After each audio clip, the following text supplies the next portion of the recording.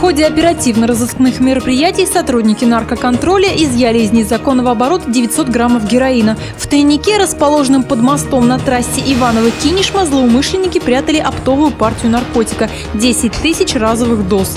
В Кинешемском районе на заброшенной с виду ферме сотрудники службы нашли 1 килограмм наркотика марихуана.